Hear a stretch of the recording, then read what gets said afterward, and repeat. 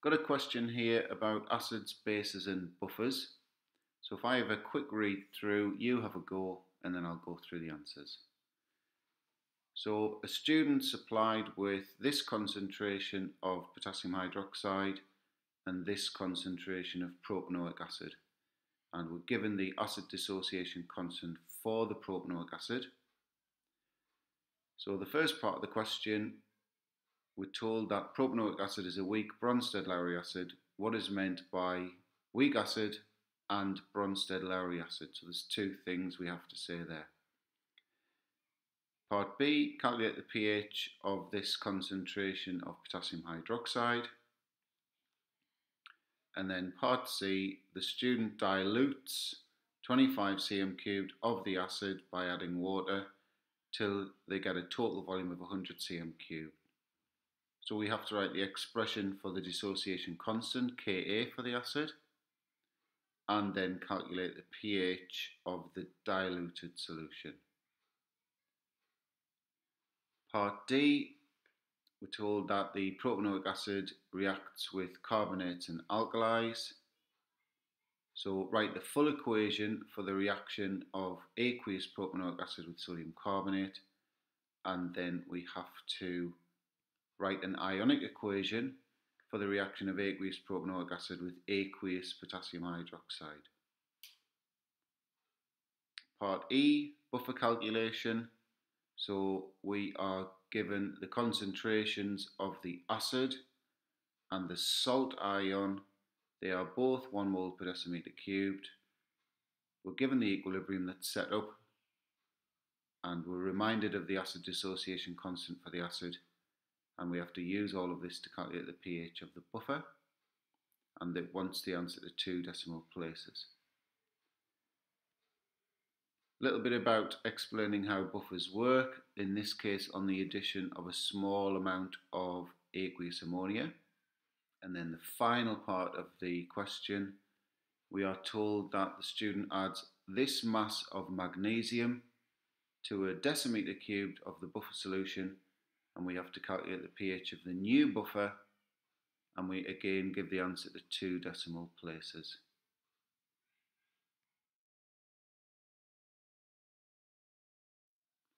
So part A, what is meant by weak acid and Bronsted-Lowry acid? So a Bronsted-Lowry acid is a proton donor and the weak part, it only partially dissociates in aqueous solution. The pH of a 0.5 mole per decimeter cube potassium hydroxide solution. So there's the equation. KOH would fully dissociate into its ions. So if the concentration of the potassium hydroxide is that, the OH minus concentration is also that due to the 1 to 1 ratio. We bring Kw in. That's how you calculate the pH of strong alkalis. So Kw equals the concentration of the H plus ion multiplied by the OH minus ion concentration. We rearrange for H plus because we know Kw and we know the OH minus concentration. So that comes out at an H plus concentration of 2 times 10 to the negative 14, which we have to minus log, and that gives us the pH 13.7. The Ka for propanoic acid so it's the equilibrium concentrations of the product over the reactant. So it's that over that. And the calculation now, the pH of the diluted solution. So the student dilutes this volume, this concentration of propanoic acid. So the first thing we need to do is work out, well, how many moles of acid is are in these quantities. So that's concentration times volume. So there's that many moles present. And because it's in 100 cm cubed, we divide by that in decimeters cubed to turn that into a concentration. So the concentration of the weak acid is this.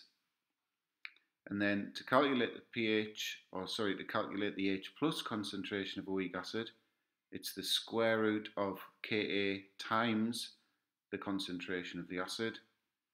So we were given the Ka value, We've just calculated that and so we get this for the H plus concentration which we minus log to give us a pH of 2.9.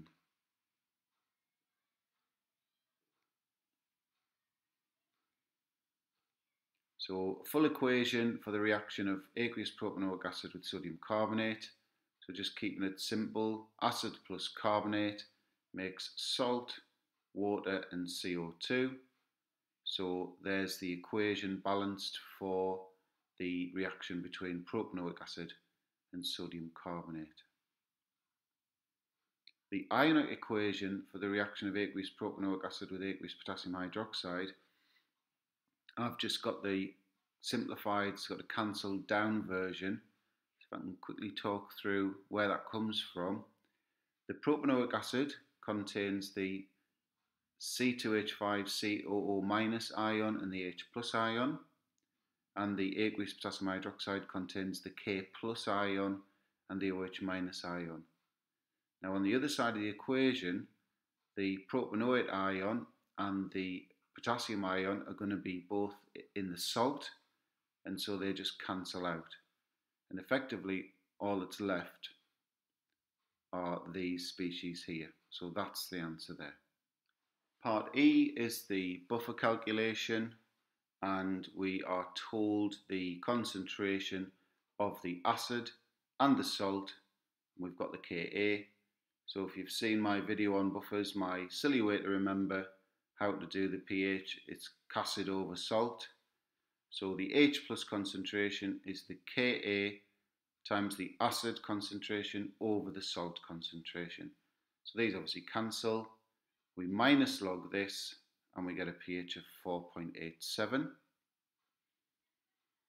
A small amount of aqueous ammonia is added to the buffer solution. So if I just get the equation up there, Aqueous ammonia is going to remove H plus ions because it's a base and so the equilibrium responds by more of the propanoic acid dissociating so the equilibrium shifts over to the right to replace the lost H plus ions. So final part of the question now, this slightly more awkward buffer calculation. So we're told that the student adds this mass of magnesium to 1 dm cubed of the buffer we have to calculate the pH of the new buffer solution and we have to give the answer to two decimal places. So straight away, if you're calculating the pH of a buffer, you need to know the H plus concentration and the H plus concentration of a buffer is calculated by knowing the Ka, the acid concentration and the salt concentration. So we need to know the new values for these there were 1 mole per decimeter cube, but that's changed now. So if we know these, we can calculate that and we can calculate the pH. So what effect is the addition of this many grams of magnesium going to have on the buffer? Well, essentially, metals react with H plus ions. So there's the ion equation for magnesium plus H plus. So you can see there's a 1 to 2 ratio in there. So what we need to do is calculate the moles of magnesium that's been added. So mass over MR, 0.25 moles. So 0.25 moles of magnesium will actually remove 0.5 moles of H plus from this ratio. So the H plus concentration is going to drop. That means the equilibrium shifts this way to replace them. So the concentration of the propanoic acid is going to decrease. The concentration of the salt ion is going to increase. So I'm doing a sort of ice method here. So remember our initial concentrations were 1 and 1. That's going to drop by 0.5 moles, so that goes to 0.5. This is going to increase by 0.5 moles, so this is going to go up to 1.5. The volume of the buffer is 1 dm cubed, so we've got the concentrations anyway here. So we just put them into our acid over salt expression. So Ka, that hasn't changed obviously, times the new concentration of acid divided by the new concentration of salt gives us an H plus concentration of this. When we minus log that, we get 5.35 to two decimal places.